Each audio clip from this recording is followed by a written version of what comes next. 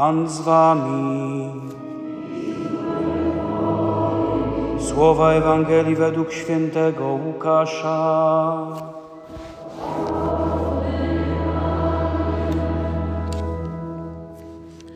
Uczniowie opowiadali, co ich spotkało w drodze i jak poznali Jezusa przy łamaniu chleba. A gdy rozmawiali o tym, on sam stanął pośród nich i rzekł do nich: Pokój wam. Zatrwożonym i wylękłym zdawało się, że widzą ducha, lecz on rzekł do nich: Czemu jesteście zmieszani i dlaczego wątpliwości budzą się w waszych sercach? Popatrzcie na moje ręce i nogi, to ja jestem. Dotknijcie mnie i przekonajcie się, duch nie ma ciała ani kości, jak widzicie, że ja mam. Przy tych słowach pokazał im swoje ręce i nogi. Lecz gdy oni z radości jeszcze nie wierzyli i pełni byli zdumienia, rzekł do nich: Macie tu coś do jedzenia? Oni podali mu kawałek pieczonej ryby. Wziął i spożył przy nich. Potem rzekł do nich: To właśnie znaczyły słowa, które mówiłem do was, gdy byłem jeszcze z wami. Musi się wypełnić wszystko, co napisane jest o mnie w prawie Mojżesza, u proroków i w psalmach. Wtedy oświecił ich umysły, aby rozumieli pisma. I rzekł do nich: Tak jest napisane, Mesjasz będzie cierpiał i trzeciego dnia zmartwychwstanie. W imię Jego głoszone będzie nawrócenie i odpuszczenie grzechów wszystkim narodom, począwszy od Jeruzalem. Wy jesteście świadkami tego. Oto słowo Pańskie.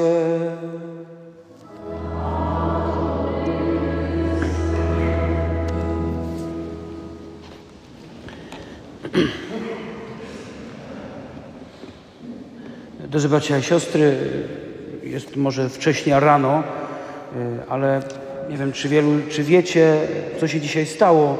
Nie wiem, czy o tym mówi się od rana w telewizji, czy w radiu, czy gdzieś ktoś coś już usłyszał, ale czy wiecie o informacji, która jest od rana wiadoma na całym świecie?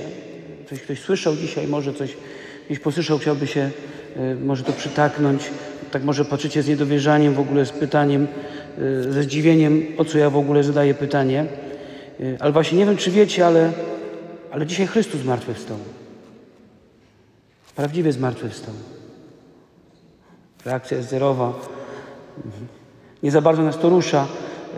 Kiedyś, lata temu, pewien ksiądz wśród, wśród zakonnych, bardzo takich leciwych już, też z rana powiedział, drogi siostry, Chrystus zmartwychwstał. I wtedy jedna ze sióstr powiedziała, proszę księdza, no tak, ale kiedy to było? Mówię o tym i, i, może nie wiem, czy prowokująco, czy nie prowokująco, czy nas to jakoś dotyka, czy nie dotyka, ale chciałbym, dlatego od, tym, od tego zaczynam, bo te nasze reakcje na, na zmartwychwstanie są bardzo ważne. Bo wiemy, że to zmartwychwstanie to nie jest opowieść jakaś, która kiedyś się wydarzyła, że to nie jest jakaś legenda, że to nie jest coś, co było dawno, dawno temu i, i, to jest jakaś bajka, którym, którą ciągle jest powtarzana w kościele, która nas gromadzi, jakaś prawda, jakaś historia, jakaś legenda. Różnie możemy do tego podchodzić. Tylko to jest to wydarzenie, to jest ta prawda, która wydarza się dzisiaj, która zmienia świat każdego dnia. I nie ma nic ważniejszego od, tej fakt, od tego faktu, od tej prawdy, że Chrystus zmartwychwstał, że On żyje. Nie? I my tutaj jesteśmy i sprawujemy Eucharystię tylko dlatego, że Chrystus zmartwychwstał. Że to nie jest odtwarzanie czegoś, że to właśnie nie jest jakiś teatrzyk, do którego po raz kolejny przychodzimy, bo taka tradycja, bo taki zwyczaj, więc trzeba przyjść. Ale dzisiaj jest niedziela zmartwychwstania. I każda niedziela to jest ten dzień. W każdą niedzielę zmartwychwstania Kościół mówi, to jest dzisiaj. Dzisiaj jest pierwszy dzień tygodnia. Dzisiaj Chrystus zmartwychwstał. I to jest ta jedyna nadzieja. Jedyna prawda, która, która tak jak Jezusa wyrwała, wyciągnęła i skrzesiła z grobu, tak również nas podnosi z naszych grobów, z naszych niepewności, z naszych lęków z naszych takich codziennych, małych śmierci, w które wchodzimy przez grzech, kiedy się zgadzamy na zło w naszym życiu. I dlatego tutaj chcemy być, bo spotykamy się z Chrystusem żyjącym, że On tutaj jest między nami, na tej liturgii. Czasem może myślimy, mówimy, że ci apostołowie to mieli dobrze. Nie? Oni widzieli, spotykali się z Jezusem żyjącym. Bracie, siostro, dzisiaj jest ten sam Jezus, który wtedy w wieczerniku stanął. Ten sam. Taki sam. Stoi przed nami w tej wspólnocie. I mówi, jestem. Żyję. Pokonałem śmierć. Ważne więc przypatrzeć się sobie, jak ja na to reaguję. Że rzeczywiście się do tego już tak bardzo przyzwyczaiłem, że no, no dobrze, no. Idziemy dalej. I co dalej? Chciałbym się zapytać, Panie Jezus, zmartwychwstałeś i co dalej? Ale chcemy się przypatrzeć też, patrząc na siebie, na swoje reakcje, na ten fakt prawdy zmartwychwstania, na, ten, na ten fakt prawdy, że Jezus jest żyjący między nami w tej Eucharystii. Też popatrzeć na apostołów i też uczyć się e, na nich, od nich, jak spotkać, jak uwierzyć w to, że On rzeczywiście żyje. Oni też musieli drogę swoją przejść. Popatrzcie, bo kiedy On przychodzi do nich do wieczornika, kiedy oni już jakąś prawdę usłyszeli, że Chrystus zmartwychwstał, bo Maria Magdalena przybiegła, powiedziała, że grób jest pusty i Jan z Piotrem pobiegli tam. Ten fragment, który dzisiaj słyszymy, jest, to, jest taką, to jest kontynuacja y, tego fragmentu o uczniach do Emaus, którzy spotkali Jezusa, wrócili do Jerozolem, do Jerozolimy i mówią: Spotkaliśmy Pana. Na naszych oczach łamał chleb. Serce nam pałało. Serce było tak rozpalone Jego obecnością. Oni już o tym słyszą. Wielu z nich spotkało Jezusa. A mimo wszystko cały czas jeszcze jest jakieś niedowierzanie. I kiedy Jezus staje pośrodku nich, w tej pierwszej wspólnocie Kościoła, w tej wspólnocie apostolskiej, to uczniom towarzyszą takie dwie reakcje. Na początku strach. Popatrzcie, kiedy Jezus przychodzi do nich, to oni nie mówią Alleluja, Jezus żyje. Nie, nie wzięli gitary, nie śpiewali teraz Zmartwychwstał Pan, tylko byli przerażeni. Pierwsza reakcja uczniów na spotkanie z Jezusem to było przerażenie. To był strach. To był lęk. Co się w tym momencie dzieje? To był jakiś dystans. Oczywiście źródeł tego dystansu, tego lęku może być wiele. Oczywiście oni mogą być przerażeni, myślą, że to jest duch. Ale mogą być przerażeni, kiedy widzą Jezusa, ale przecież przed chwilą doznali jakiegoś zawodu. Ich życie przed chwilą się sypnęło. Oni szli do Jerozolimy. Jezus im tyle przecież o tym mówił, że pójdzie do Jerozolimy, że tam będzie wydany, tam będzie ukrzyżowany, ale trzeciego dnia zmartwychwstanie. Cały czas to powtarzał. Ale oni z tyłu głowy mieli coś innego. Przecież nawet kiedy szli do Jerozolimy, to się kłócili jeden z drugim. Kto z nich będzie najważniejszy? Nawet mama synów Zebedeusza szła, żeby popertraktować z Jezusem, który z uczniów, który z jej synów będzie po lewej, który po prawej. Żeby do tego królestwa ich wziął, jak będzie już tym królem w Jerozolimie, to żeby miał wzgląd na jej synów. Oni cały czas mieli inne przekonanie o Jezusie. Dlatego zostawili swoje domy, swoje rodziny, swoje miejsca pracy. Poszli za Jezusem, położyli wszystko na jedną kartę dla Jezusa. I wszystko się skończyło. Po ludzku wszystko się skończyło. Ten, który miał być królem, ten, który miał obalić okupanta rzymskiego, no rzeczywiście został wydany na śmierć, ukrzyżowany. Wszystko stracili. I być może to przerażenie może być takim momentem, kiedy oni widzą znowu Jezusa i widzą, że oni nie chcą w to wchodzić. Jeszcze raz. Mamy takie doświadczenie, kiedy ktoś nas zawiódł. Ktoś nam coś naobiecywał i zawiedliśmy się na nim. Kiedy nawet ktoś przychodzi, przeprasza nas, Może jest nas nawet taka postawa, że dobrze, wybaczam komuś, ale nie chcę wejść drugi raz w, z tą osobą w jakąś historię. Nie chcę iść jeszcze raz z nim. Może mu wybaczam, ale chcę być z nim na dystans.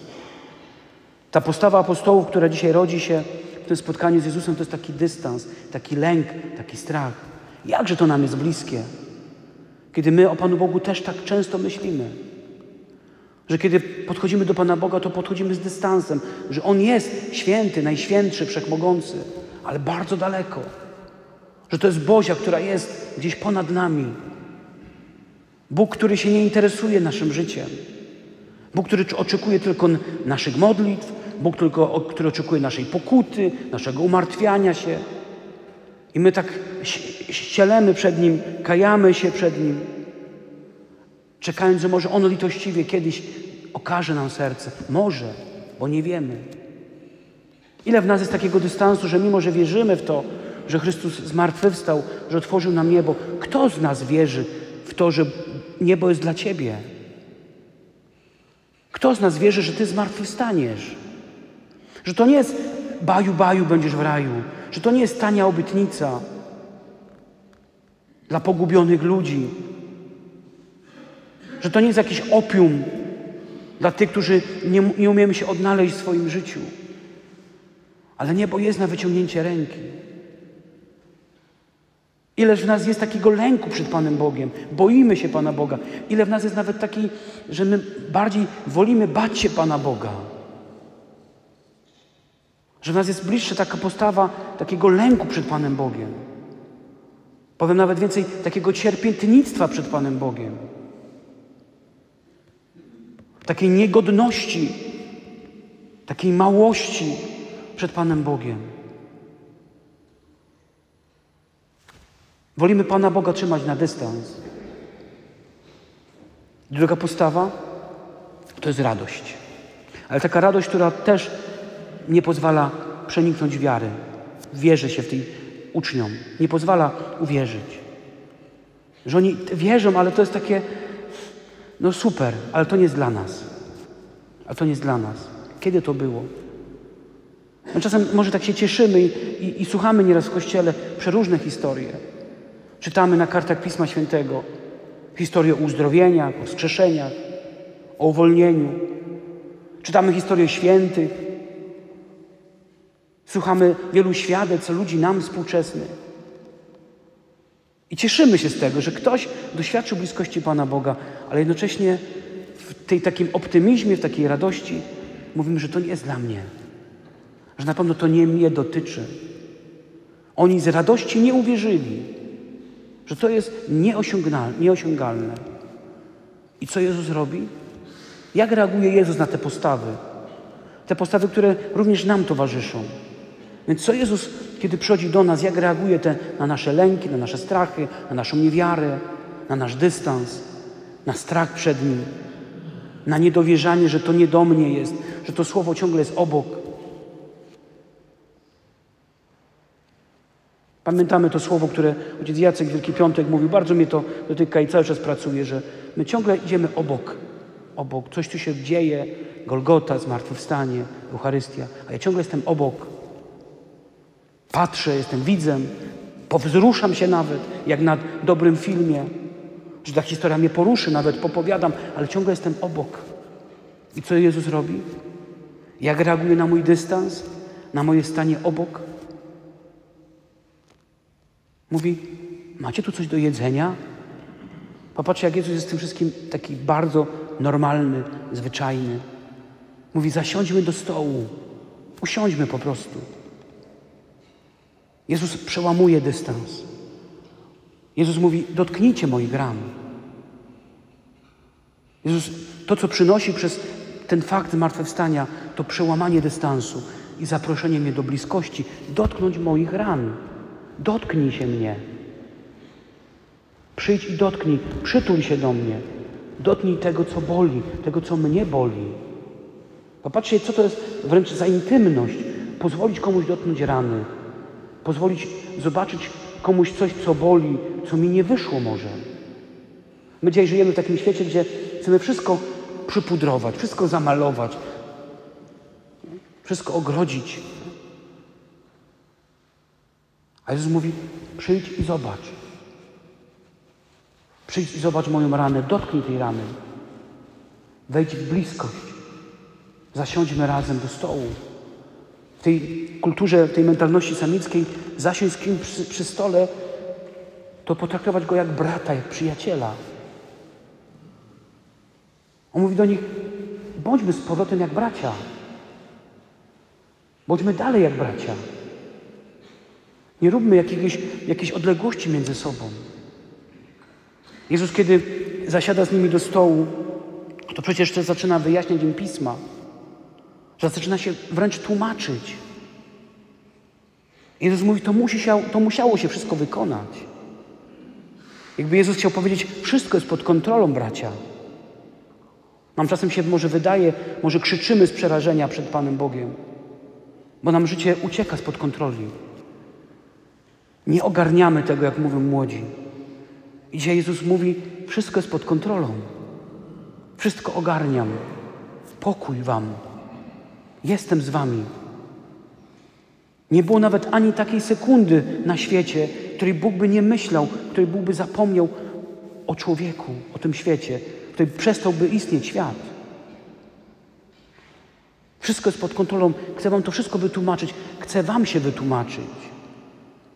Zobaczyć takiego Boga, który siada ze mną i tłumaczy mi się z tego wszystkiego, co się dzieje. I dopiero wtedy, kiedy On zaczyna im mówić, tak jak zawsze to robił przez trzy lata, kiedy wracali po całym dniu, zasiadali i On im wyjaśnił pisma. Tak robi to samo teraz. Zaczyna im wyjaśniać pisma. I oni zaczynają rozumieć i stają się świadkami spotkania z Chrystusem. Kochani, dzisiaj w Kościele Polskim y, przeżywamy niedzielę biblijną. Niedzielę, którą chcemy na nowo też odkryć. Ten wielki skarb, jaki Bóg nam zostawił, swoje słowo. Bóg w tą niedzielę chce nam się przypomnieć o swoim słowie. Że to słowo nie jest tylko czytanką, że to nie jest tylko słowo, które mamy czytać z pobożnością, słuchać z pobożnością. Ale Bóg daje nam to słowo, żeby je usłyszeć i żeby w świetle tego słowa zobaczyć swoje życie. Żeby karmiąc się tym słowem, spotkać się z Jezusem. Uczniowie dlatego rozpoznali w Jezusie Boga żywego, bo karmili się Słowem, bo mieli tą przestrzeń na spotkanie się ze Słowem Bożym. My często gdzieś powtarzamy, lubimy tak powtarzać, nie słyszę Boga, nie czuję Boga, nie doświadczam Boga, Bóg do mnie nie mówi. Ja nie wiem, co Bóg mówi. Ale jak masz słuchać Pan, jak masz usłyszeć Boga, kiedy Twoje Pismo Święte w domu jest zamknięte? Kiedy my się tym słowem nie karmimy? My, my karmimy się wieloma słowami, ale nie karmimy się Bożym Słowem. To doskonale widać, jakie miejsce ma Biblia w moim domu. I nawet nie chodzi o to, że, ma, że, że, że ta Biblia powinna być centralnym miejscem, ale ona powinna być codziennie otwierana. Ona nie ma być pozłacana, otwierana raz, dwa razy w ciągu roku, codziennie otwierana. Jakbyśmy się przeszli po domach, drogie panie, wiele z was jeszcze ma książki kucharskie. Jak one wyglądają? No podarte, powyciągane kartki. Dlaczego? Bo tam sięgacie. Bo tam jest przepis na ulubione ciasto, ulubioną sałatkę. A kiedy szukam przepisu na moje życie, kiedy szukam lekarstwa na moje życie, to trzeba mi otworzyć właśnie Pismo Święte. Bóg chce Ci wyjaśnić. Bóg chce wyjaśnić Ci Twoje życie. Bóg chce Ci przeczytać Twoje życie. Bóg chce dać Ci odpowiedź na Twoje życie. Ale odpowiedź jest jedna, którą kiedyś usłyszał święty Augustyn. Bierz i czytaj, otwórz i czytaj. Nie tylko dzisiaj, w tą niedzielę biblijną, nie tylko przez ten cały tydzień biblijny, ale każdego dnia. Bierz i czytaj. Żeby mieć ten luksus, ten przywilej w swoim życiu, żebyśmy się karmili tym słowem. Żebyśmy się uczyli Pana Boga, doświadczali to, że On naprawdę jest blisko każdego z nas. Gdzie to o tym usłyszymy? Nie w telewizji, nie w gazecie, nie w radiu, nawet katolickim, ale na kartach Pisma Świętego. Tutaj znajdziemy się, tu się, tutaj się spotkamy z Panem Bogiem. Tu jest moja relacja z Panem Bogiem. Bo tu Go słucham, tu rozmawiam. Kiedy słucham tego słowa, Jego słowa, dobrej nowiny, dobrej nowiny dla mnie. Nie taniej nowiny, nie taniej Ewangelii, ale dobrej nowiny na moje życie. Odpowiedzi na moje życie. Sięgajmy po te słowa. Indywidualnie, rodzinnie, małżeńsko. Wspólnie czytajmy, spotykajmy się przy tym, przy tym stole słowa, przy tej księdze słowa. W tym wszystkim, co w Twoim sercu jest. Bóg dzisiaj chce Ci powiedzieć, ale pozwól sobie usłyszeć, pozwól sobie otworzyć Biblię i usłyszeć, że wszystko jest pod kontrolą. Że kiedy Ty nie wiesz, co się dzieje, że czasem niektórzy mówią, że moje życie to takie przypomina takiego woka, czy łoka, taką chińską patelnię, że cały czas jest człowiek podrzucany. Nie? Człowiek, nieraz tak niektórzy mówią. Nie? Że jak patrzę na moje życie, to ciągle jestem, wszystko mnie, ciągle się coś z, równowagi mnie wyprowadza. A Bóg dzisiaj chce powiedzieć przez swoje słowo i na każdej kartce, na każdej stronie Biblii, w każdym zdaniu Biblii chce powiedzieć, wszystko jest pod kontrolą, bo ja jestem przez wszystkie dni, aż do skończenia świata. Amen.